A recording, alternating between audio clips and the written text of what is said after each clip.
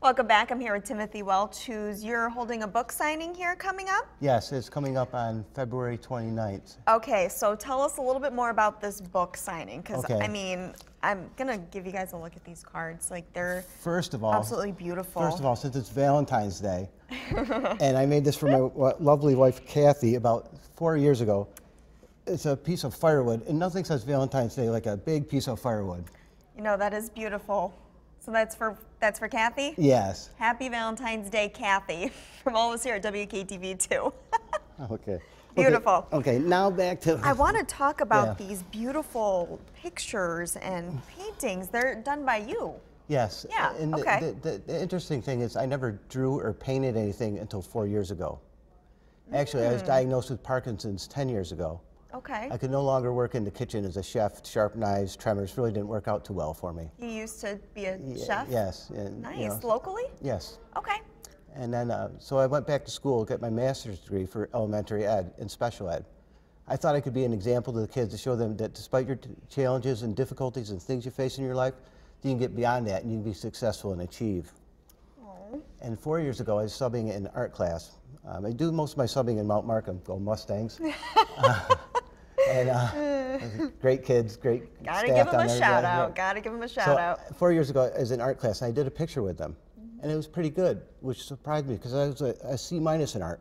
I couldn't make a clay coil pot in school. You know, you know when you get letter grades on your report card for elementary, I was Yeah. an N for needs improvement.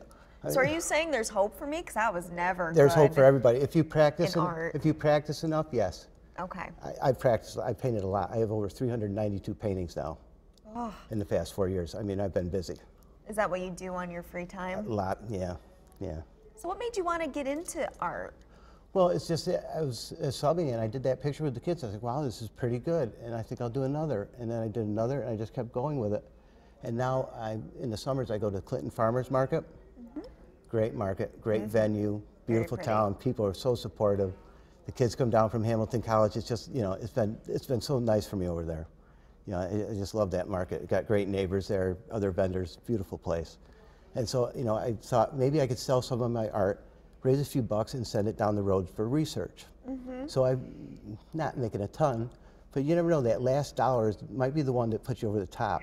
You know, Now, is this um, something you do every year? Is this the first time this year This that you're going to be doing this event? this event is here's the Yeah, go ahead. Take whatever you need. here's here's the book, and this is there's gonna be this is for the book signing. It's gonna be in Richfield, February 29th, um, 12 to 2 at the library. And yeah, so this is this is kind of the culmination of of my work. Okay. There's a little autobiographical thing, and then paintings that I think are better ones. Okay. Yeah. Now, I want to get back to the student um, aspect of this. Like, this changed your life. Um, all this artwork changed your life. It, did. and- You know, it, it's like I'd like to say, as much as Parkinson's is taken away from me, it has in turn given me a gift of creativity and painting. I think it's kind of taking like lemons and making lemonade. It's a negative into a positive. You know, trying to turn it around and do something good, and you know, contribute to the community in a positive way. Hopefully, you know, in some small way, my pictures, my work here will be inspirational to folks and show that you know, even though people have disabilities and maybe chronic diseases, they have a lot to offer us, and they have a lot to offer the community, and we need to look for those people and search them out and utilize their assets because they can be very good for everybody involved in you know, the surrounding area and the community itself. I think. And what advice do you give your students um, being directly involved in something like this? I, I don't so much say things to them as I think I do things. I think just by me being there, Yeah. showing up every day, trying tripping and stumbling at times and shaking as I do when I have symptoms, just being there kind of almost normalizes it for them and it teaches them empathy. And you know, we need more empathy and that kind of understanding and tolerance in the world. It's not a bad thing.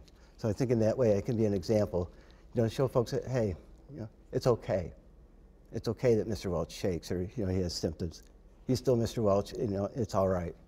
And hopefully through this art and uh, you know art's kind of my way of saying Parkinson's, you can do things to me, Parkinson's, but I can do this.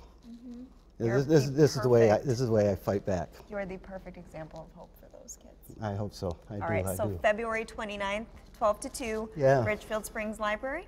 Yeah, I look forward to seeing all the people that have supported me on Facebook, especially. Uh, I have a nice core group of followers. And uh, also, I'm going to have an article in Green Pencil Magazine, uh, online by Susan Smith Romero. Nice. Oh, yeah, Thank you. that's So join us, join him down there February 29th.